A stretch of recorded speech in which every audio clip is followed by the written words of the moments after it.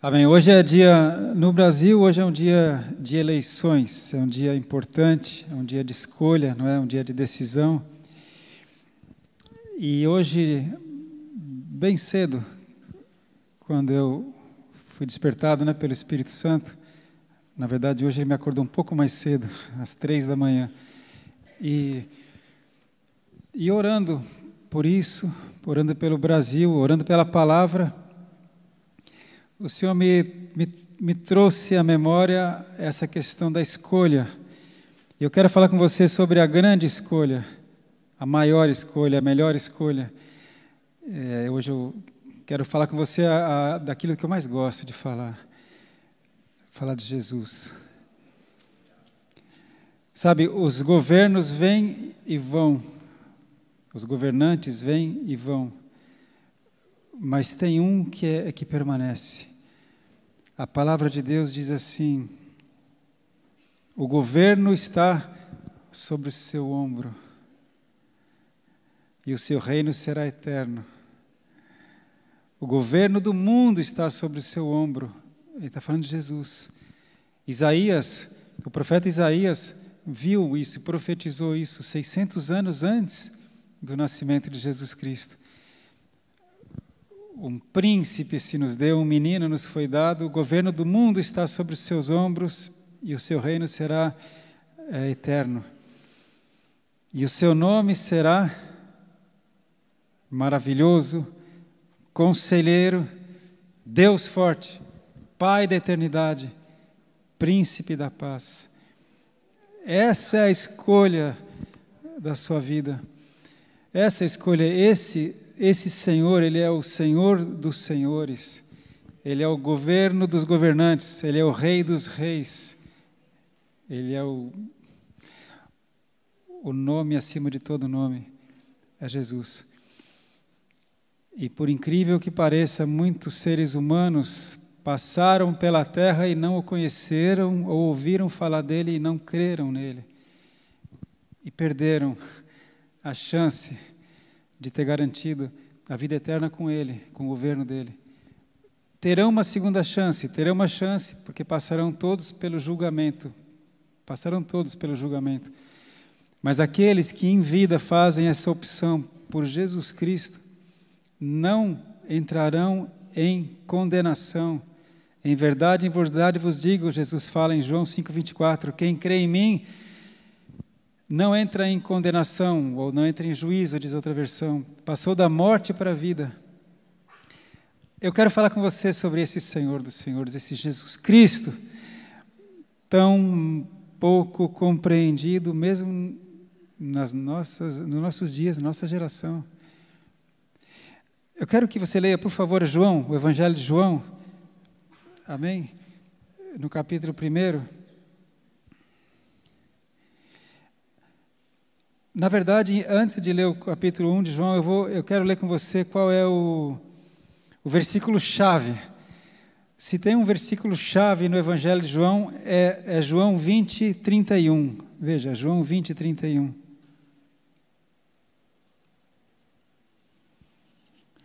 O versículo-chave do Evangelho de João. Para que entenda o verso 31, teremos que ler o 30.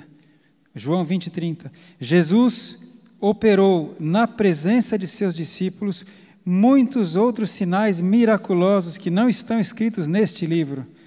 Estes, porém, foram escritos para que creiais que Jesus é o Cristo, o Filho de Deus, e para que, crendo, tenhais vida em seu nome muitos outros sinais maravilhosos, muitos outros milagres Jesus fez na presença dos seus discípulos que não estão nem relatados aqui. E olha quantos estão relatados. Estes, porém, sinais foram descritos para que, que você creia que Ele é ungido, Ele é o Cristo, que Ele é o Filho de Deus, e, e para que, crendo, você tenha vida em seu nome. Jesus falou: Eu vim para que você tenha vida, e vida com abundância. Tantas pessoas, irmãos, aqui na terra, eles sobrevivem, mal vivem. Mas Jesus fala: Eu quero que você tenha vida em abundância. Aleluia. Crendo, crendo nele. Por isso ele deixou esses sinais, para que nós crescêssemos. Mas veja então, aqui vamos revelar esse mistério, falar um pouco do Rei da Glória. João capítulo 1. João capítulo 1. No princípio era o Verbo, e o Verbo estava com Deus, e o Verbo era Deus. Ele estava no princípio com Deus. Todas as coisas foram feitas por meio dele, e sem ele nada do que foi feito se fez. Nele estava a vida, e a vida era a luz dos homens. A luz resplandece nas trevas, e as trevas não prevaleceram sobre ela. Como assim, né? No princípio era o Verbo, o Verbo estava com Deus, o Verbo era Deus. Tem uma outra versão da Bíblia que fala a palavra, né? Tem na sua? Amém. Que verbo é esse? Veja aqui o verso 14. O Verbo se fez carne e habitou entre nós. Vimos a sua glória, a glória do unigênito do Pai, cheio de graça e de verdade. Quem fala que vimos a sua glória? João viu, os discípulos viram, vimos a sua glória. O Verbo que estava com Deus, o Verbo que é Deus, o Verbo que estava desde o princípio, o Verbo é Jesus. Jesus é o Verbo. Ele é a palavra. Em Hebreus diz assim que Deus sustenta todas as coisas pela palavra do seu poder. A palavra do seu poder. A palavra é Jesus. Jesus é a palavra. Jesus é Deus. A gente vai entender como é tão importante nós termos esta palavra.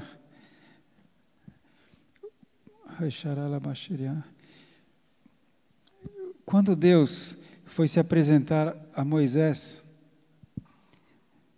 Deus levou Moisés até o alto do monte.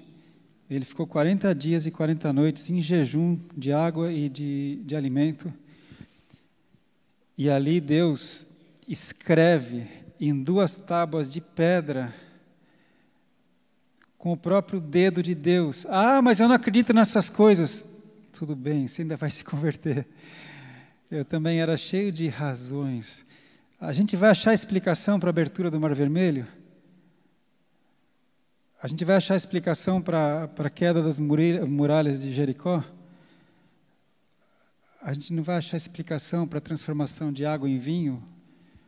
Você não tem que achar explicação, você tem que crer. Jesus fala que a gente tem que ser como uma criança para entrar no reino dos céus. A criança acredita naquilo que o pai fala. E Jesus falava e falava e falava: Olha, se vocês não acreditam pelas coisas que eu estou dizendo, acreditam pelo menos pelos sinais que eu faço, eles testificam que eu sou quem eu digo. E ele operou milagres, deixou registrado para que nós creiamos. Pois bem, Deus leva Moisés até o alto do monte. E depois de 40 dias que Deus conversando com ele, explicando, explicando o quê? O que, que Deus passou para Moisés? A palavra. Deus passou a palavra os, as suas leis, os seus mandamentos, o seu conceito, essa palavra aqui revela Deus. E aí Moisés desce de lá com duas tábuas de pedra escritas pelo próprio dedo de Deus. Os dez mandamentos, né? o resumo de tudo. Moisés não tinha papel, não tinha caneta, não tinha lápis. Deus não tem problema, deixa que eu resolvo, filho. Eu vou te dar aqui, ó, Já pensou? Desce com essas duas tábuas para você mostrar para o povo. Mas, na verdade, onde eu quero chegar é que essa palavra é tão importante porque Jesus é a palavra, Jesus é o Verbo. O Verbo era Deus, o Verbo estava com Deus. Tudo que foi feito foi feito por meio de Jesus. E é por isso que fala em Hebreus 1,3. Eu quero ler Hebreus 1,3 porque eu li só uma parte do, do versículo. Veja, Hebreus 1,3 diz assim: O Filho Jesus. O Filho é o resplendor da sua glória e a expressa imagem da sua pessoa, sustentando todas as coisas pela palavra do seu poder. Aleluia! O Verbo é o Filho, o Filho é a imagem do Pai. Jesus falou: Quem vê a mim, vê o meu Pai. E Jesus, ele sustenta todas as coisas pela palavra do seu poder. Olha a importância da palavra. Com a palavra, Deus criou o mundo, não foi? Deus, eh, disse Deus: haja luz, e houve luz. Disse Deus: haja separação entre as águas, e houve separação. Disse Deus. Eu sei que isso tudo é, um, é, um, é mistério, é meio complexo, mas a gente tem que, que começar a entender Jesus Cristo e entender a palavra. Não é para menos que o diabo, conhecendo a palavra, ele quer impedir você de conhecer. Quem aqui já teve preguiça de ler a Bíblia? Teve sono quando foi ler a Bíblia? Quem aqui já é convertido há mais de um ano e não leu a Bíblia inteira ainda? Ah, se você soubesse que essa palavra é Jesus. Jesus falou: Pai, santifica-os na verdade, a tua palavra é a verdade. Você vai ficar acreditando em, em falácias que estão aí na internet, interpretações da Bíblia, textos fora do contexto. Tem pregador aí falando que o pecado é muito complexo, esse, esse assunto de pecado é complexo. Vai direto na fonte, vai direto na palavra. Amém? A palavra é Jesus. Ele quer se revelar a você. Bem, então nós vimos aqui que Jesus é o Verbo. Jesus estava com Deus desde o princípio e, e, e o Verbo se fez carne, ele se fez pessoa e habitou entre nós e os seus ensinamentos foram registrados. Então, Jesus está aqui, está revelado. Agora vamos dar uma olhada em 1 João. Nós lemos João, né? Agora veja 1 João 1, de 1 a 4, lá perto de Apocalipse. 1 João 1. O que era desde o princípio, o que ouvimos, o que vimos com nossos olhos o que contemplamos e as nossas mãos tocaram, isto proclamamos com respeito ao Verbo da vida. Pois a vida foi manifestada e nós a vimos e testificamos dela, e vos anunciamos a vida eterna que estava com o Pai e nos foi manifestada. O que vimos e ouvimos, isso vos anunciamos, para que também tenhais comunhão conosco. E a nossa comunhão é com o Pai e com o seu Filho Jesus Cristo. Estas coisas vos escrevemos para que a nossa alegria seja completa. João está incluindo você no grupo, para que a nossa alegria seja completa. Não seria interessante que ele dissesse: Essas coisas vos escrevo para que a vossa alegria seja completa? Mas ele fala: Para que a nossa alegria seja completa. Ele fala, porque a nossa comunhão, a nossa de quem? De João, dos discípulos que viram Jesus, conviveram, tocaram nele. Eles falam, a vida eterna se manifestou e nós vimos, e nós andamos com ele, nós tocamos nele, e essas coisas nós dizemos a vocês para que a nossa alegria seja completa. Amém? Ó, para que vocês tenham comunhão conosco. Deus quer que você também tenha comunhão com o Pai e com o Filho, para que a sua alegria seja completa, como foi a alegria de João, de Paulo, de Pedro. Amém? O Verbo da vida.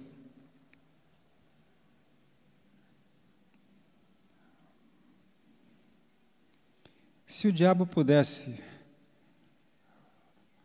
confundir a linguagem dos homens, será que os homens teriam dificuldade de receber a palavra pura? Será? Outro dia eu vi um, um estudioso dizendo que a nova linguagem que estão querendo empurrar a goela abaixo, não só no Brasil, viu? esse negócio de todos, todas, todes, todex, com todas as implicações anexas a isso, não é só no Brasil. Estados Unidos, França. Eu vi um estudioso dizendo que os jovens brasileiros já começam a ter dificuldade de ler Machado de Assis. Essa de Queiroz. Já não tem mais, estão começando. Primeiro que os jovens já não conseguem escrever e ler, porque vivem nas, na linguagem abreviada de internet. Bluz, bluz, beleza? Como é que é? Beleza? Bluz, bluz.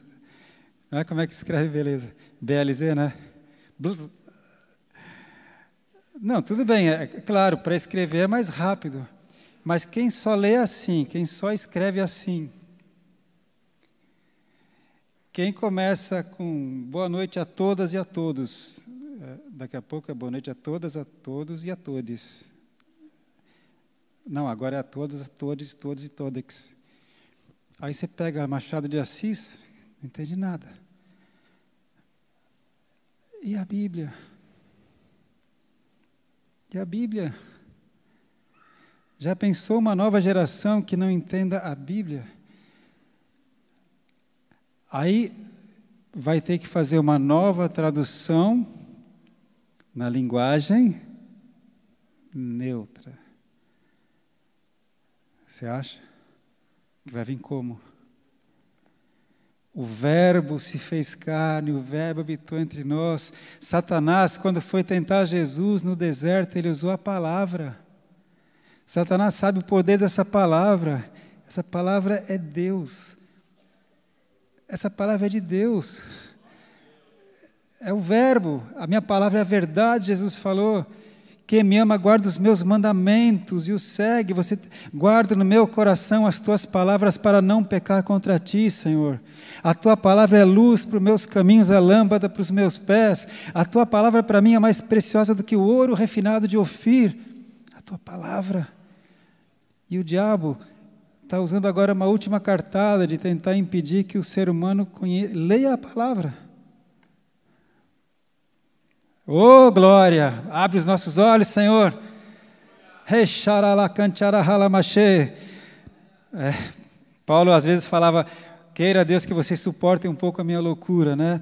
Sabe, eu acho que eu vou começar a fazer um pouco de loucura, eu vou começar a orar mais em línguas, porque muitas vezes eu tenho vontade de orar em línguas, mas eu penso assim, ah, o que vão dizer lá em casa? Vão pensar que o apóstolo é meio bobinho, meio fanático, meio louco. Porque a sabedoria de Deus é mais sábia do que os homens, a loucura de Deus é mais sábia do que os homens. E a oração em línguas é o Espírito Santo intercedendo por nós. Aleluia! Mas olha, vamos voltar lá para João. João.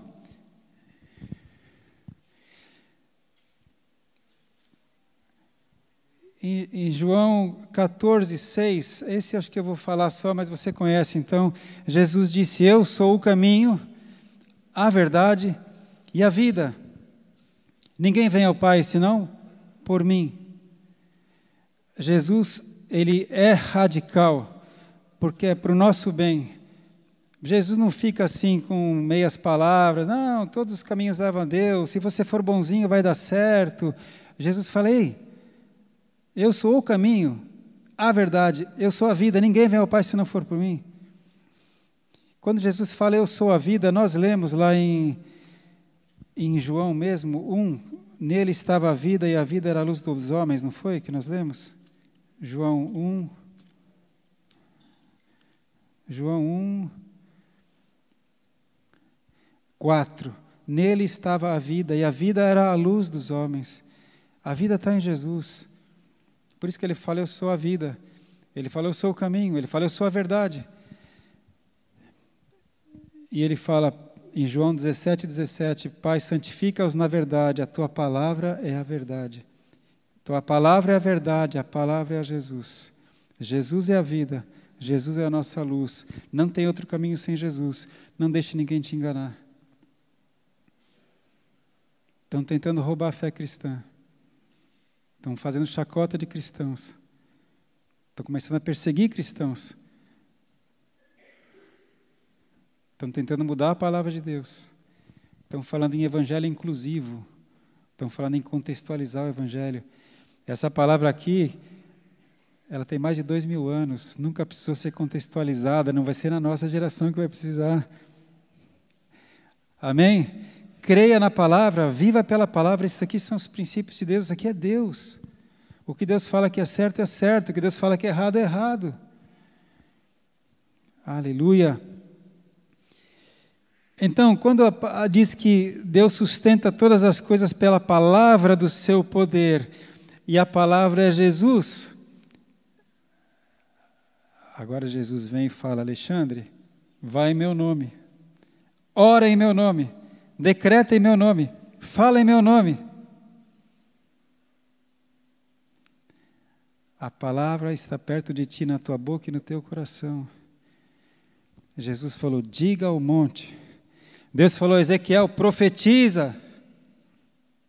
O diabo está tentando nos calar, nos amedrontar, fazer você ficar quietinho. Você tem que orar, declarar. A palavra fala lá em Timóteo que nós temos que levantar as mãos santas onde nós formos e declararmos a palavra de Deus. Deus fala que nós temos que orar pelos nossos governantes para que alcancemos dias de paz. Nós temos que orar quando você ora, você libera a palavra, e a palavra é Jesus. Quando ele fala, ore em meu nome, claro, né, em meu nome. E quem é que tem autoridade para orar em nome de Jesus? Quem tem Jesus. Vocês lembram daqueles sete filhos do sacerdote Seba que resolveram expulsar o demônio de um homem? No livro de Atos, um homem estava endemoniado, estava possesso, os demônios existem.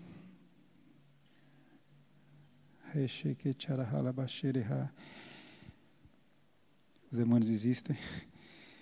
E aqueles, aqueles sete filhos de um sacerdote falavam assim: em nome de Jesus Cristo, a quem Paulo prega, saia desse homem. E o que que o, e haviam vários demônios. O que que os demônios disseram para aqueles sete homens? Conhecemos Jesus Cristo, sabemos quem é Paulo, mas vocês eu não conheço e não respeito. E aquele homem endemoniado deu uma surra nos sete que fugiram seminus. Eles não tinham autoridade para orar em nome de Jesus. Quem tem autoridade para orar em nome de Jesus Cristo? Quem tem Jesus Cristo.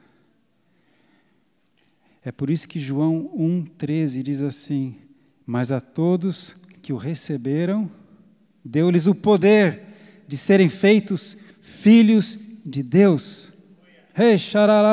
Mas a todos que o receberam, a todos que receberam Jesus Cristo, a vida, Deus lhes dá o poder de ser feito filho de Deus.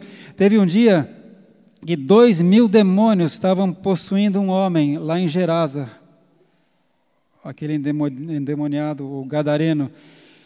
Dois mil demônios, nós soubemos que eram dois mil depois que eles entraram numa manada de porcos, não é? E quando vem Jesus Cristo, eles, eles falaram: Que temos nós contigo, Filho do Altíssimo.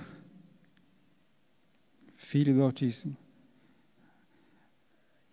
E a palavra fala que quando eu recebi Jesus Cristo, Deus me deu o poder de ser feito filho do Altíssimo, Filho de Deus, Almighty, o Todo-Poderoso.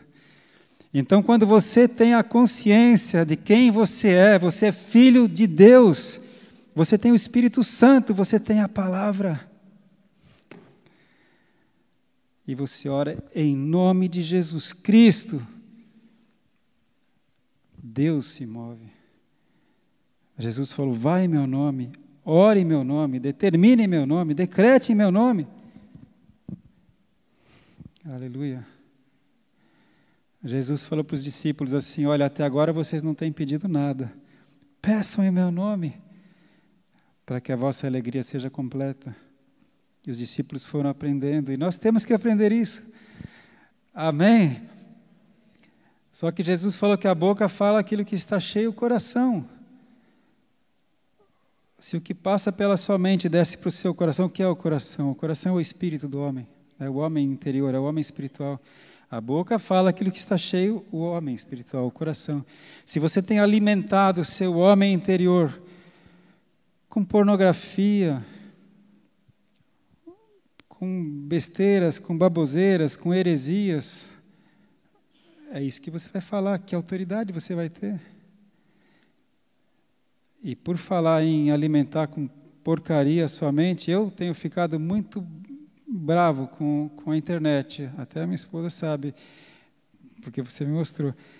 Muitas vezes, quando eu estou ou no Facebook ou no, no YouTube, muitas vezes assim, não vejo tanto, mas quando eu estou buscando as, as coisas que eu quero buscar, com uma certa frequência vem coisas de pornografia, aparece lá. É uma invasão, é uma agressão. O diabo sabe como ele quer poluir a sua mente. Mas o que Deus quer é que você se alimente da palavra, para que você tenha autoridade, para que você tenha santidade. Amém? Aleluia! Então eu quero eh, completar mesmo, é, completar com uma outra, uma outra palavra de Jesus que é tão tremenda, que está em João capítulo 15. A gente vai falar só dele hoje. Ô oh, Senhor, João 15. Jesus já disse que Ele é o caminho, já disse que Ele é a vida, já disse que Ele é a luz né, do mundo. E agora, aqui em João capítulo 15, olha o que Jesus diz: Eu sou a videira verdadeira, e o meu Pai é o agricultor. Todo ramo em mim que não dá fruto, ele o corta. E todo ramo que produz fruto, ele o poda, para que produza mais fruto ainda. Vós já estáis limpos por causa da palavra que vos tenho falado. Você vai estar limpo à medida que você se alimentar da palavra, à medida que você lê a palavra. Ela que vai limpando a gente. Amém? Mas ele fala então que nós somos os ramos e ele é a videira verdadeira. E todo ramo que estiver nele e não der fruto, o Pai corta. Verso 4: Permanecei em mim e eu permanecerei em vós. O ramo de si mesmo não pode produzir fruto se não estiver na videira. Tampouco vós podeis produzir fruto se não permanecerdes em mim. Eu sou a videira, vós sois os ramos. Se alguém permanece em mim e eu nele, esse dá muito fruto. Sem mim, nada podeis fazer. Sem mim, nada podeis fazer.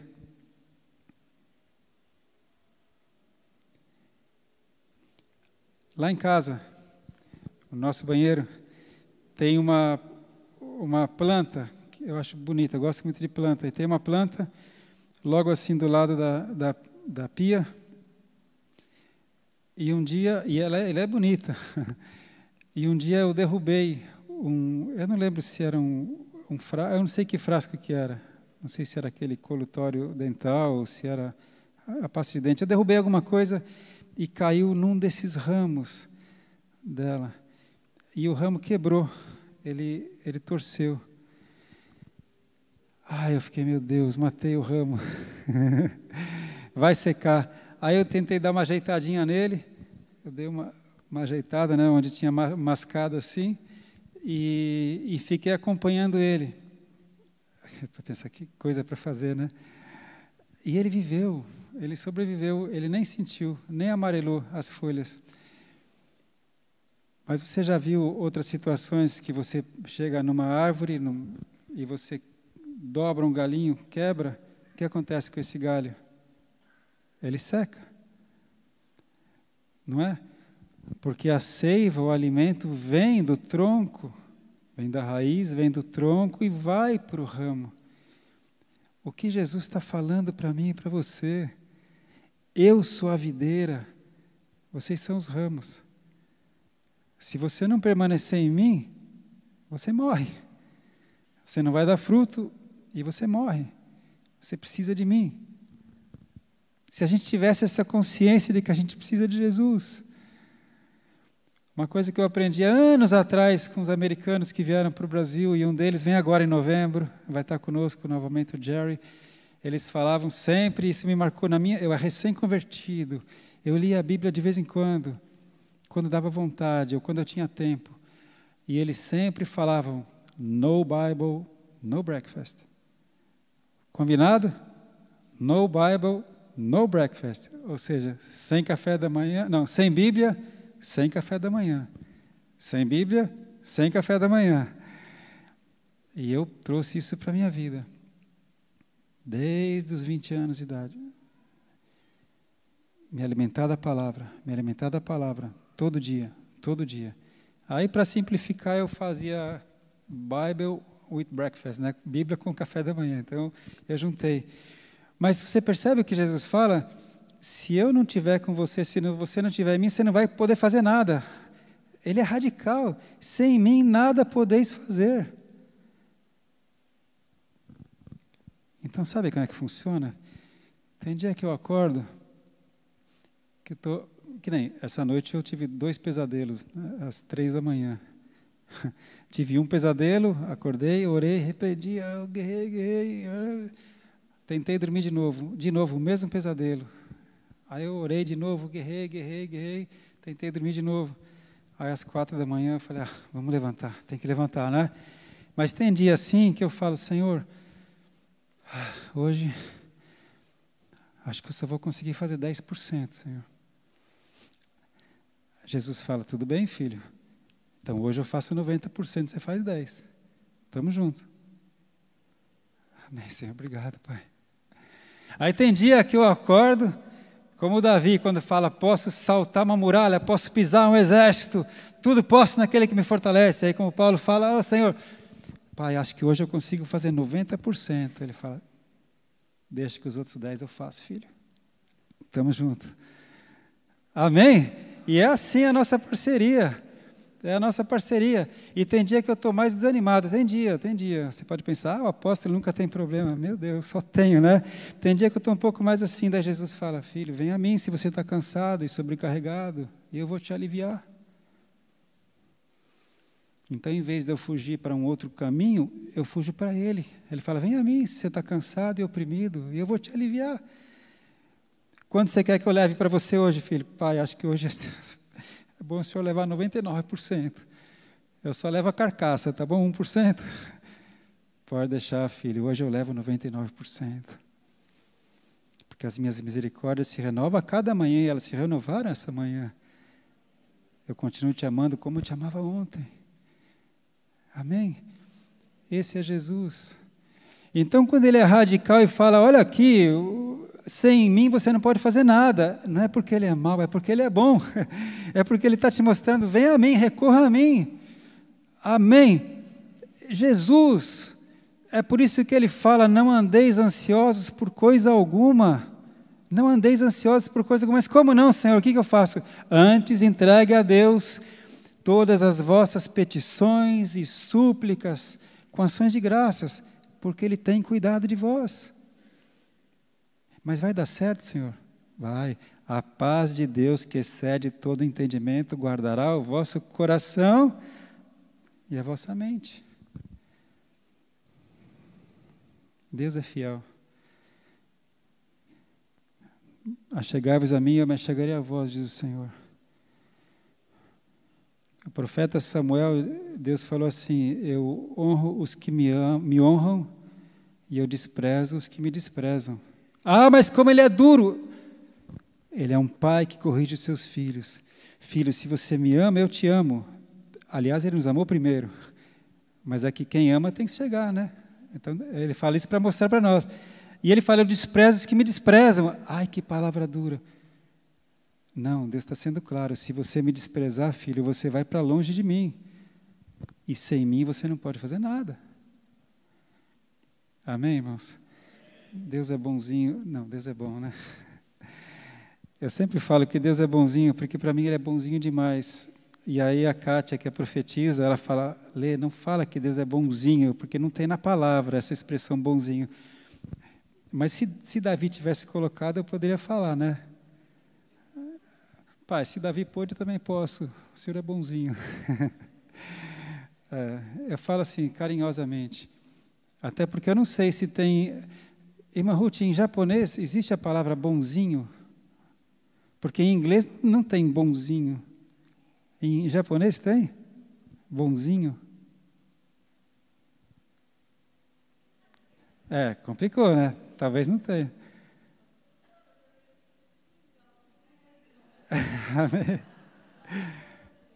é, já é mais brasileira. A Ângela está aí, a Ângela que é da Itália.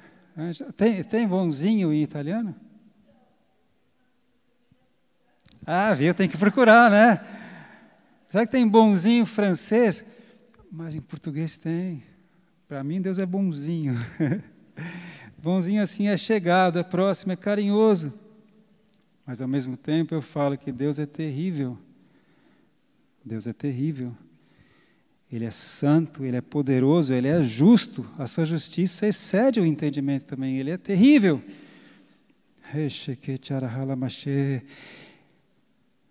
Ah, Jesus. Amém?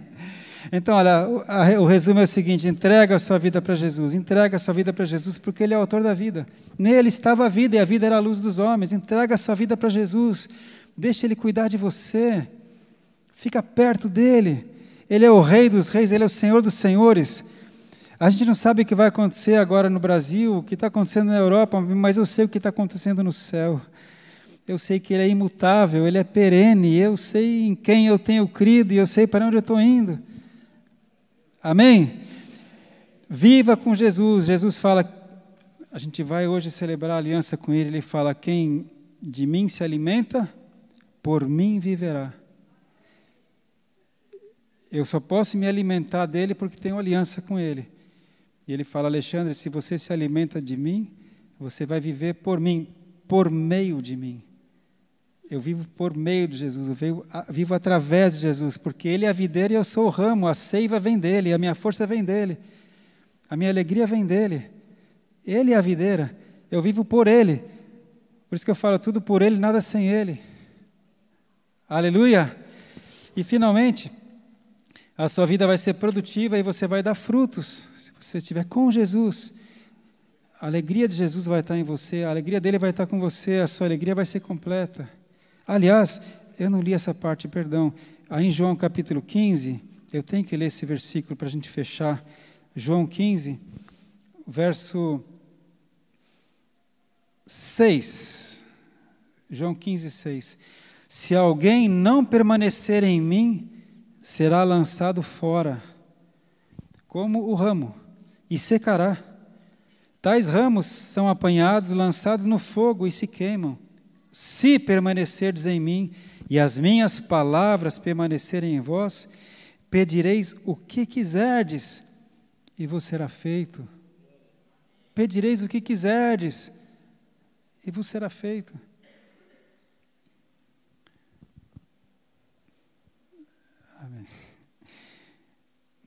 Verso 10: Se guardardes os meus mandamentos, permanecereis no meu amor, assim como eu tenho guardado os mandamentos de meu Pai e permaneço no seu amor. Tenho-vos dito isto para que a minha alegria esteja em vós e a vossa alegria seja completa. Deus afirma que a alegria do Senhor é a nossa força. A alegria do Senhor é a nossa força. Quando Deus está alegre com a minha vida, eu estou forte. Em ti a minha alma se compraz, né? em ti me compraz, Deus fala.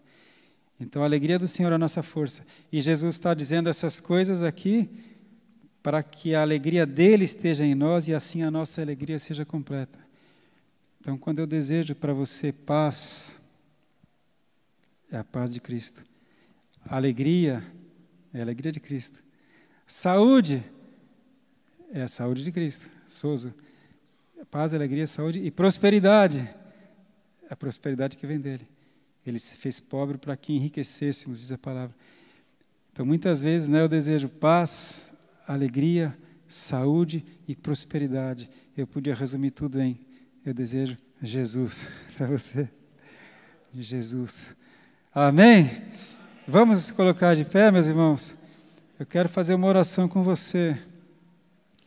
Hoje é um dia de escolha mas antes de tudo, acima de tudo, escolha Jesus. Não abra mão de Jesus Cristo. É o autor da vida. Vou chamar o Ministério de Louvor, Pastor Marcelo.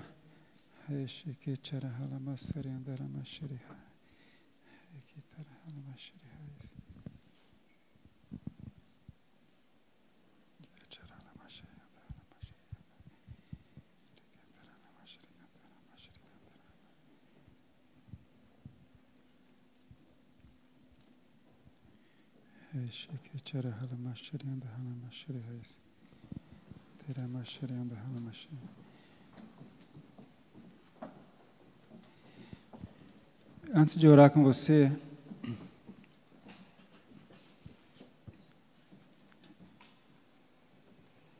eu creio que Deus deseja que nós sejamos conhecidos como o povo da Bíblia, o povo da palavra. A palavra fala que os crentes de Bereia, eles eram mais sábios do que os crentes de Tessalônica, porque eles examinavam as escrituras para ver se as coisas eram de fato assim. O povo da palavra. Você já reparou, talvez você não tenha reparado como, como cada língua, cada idioma é, é interessante, é rico. Os idiomas foram, vêm sendo formados há, há séculos, né? Então, quando eu estava estudando japonês durante um tempo, estudei durante um ano e meio, eu, eu, fiquei impressionado com. Quando você estuda um idioma, você conhece um pouco da cultura. Você conhece a cultura do povo, né, pelo idioma. Por exemplo, eu me lembro que quando eu soube que kami, de kamikaze, né, kami pode ser papel e kami pode ser Deus, né? E tem mais uma coisa que kami também é que eu não me lembro agora. E, e sabe, cada quando a gente estuda o alemão, o alemão é uma língua muito lógica, uma língua que emenda as palavras, é uma língua que coloca o verbo lá no fim da frase, é totalmente diferente. O português é uma língua rica, rica. A língua é importante. E a Bíblia é um outro mundo. É a língua, é, é, é a língua de Deus. É a palavra de Deus. É por isso que as pessoas que não têm o Espírito Santo não entendem. É um outro idioma, é o idioma do céu. As coisas espirituais se discernem espiritualmente, diz a palavra. Quando você começa a ler, você entende o que Paulo falou. Ele disse assim: ó, profundidade da riqueza e do conhecimento de Deus. Quão insondáveis são os seus caminhos. Quem conheceu a mente do Senhor? E você começa a ler a Bíblia, você começa a entrar por uns caminhos e ele começa a revelar e você começa a conhecer Deus pela palavra. Se você tem esse tesouro na sua mão, você não pode deixar de ler. Examine as Escrituras, Jesus falou, elas testificam de mim, ela vai abrir Jesus para você. Amém. Seja conhecido como homem de Deus, como mulher de Deus. O homem de Deus fala das coisas de Deus. O homem de Deus ora como Jesus. O homem de Deus fala como Jesus. Coloque Jesus em primeiro lugar. Não brigue com ninguém por causa de time de futebol. Não brigue com ninguém por causa de, de política. Não brigue com ninguém. Se possível, de paz com todos os homens, diz a palavra. Seja luz. Aleluia. Tenha Jesus como a primeira coisa na sua vida.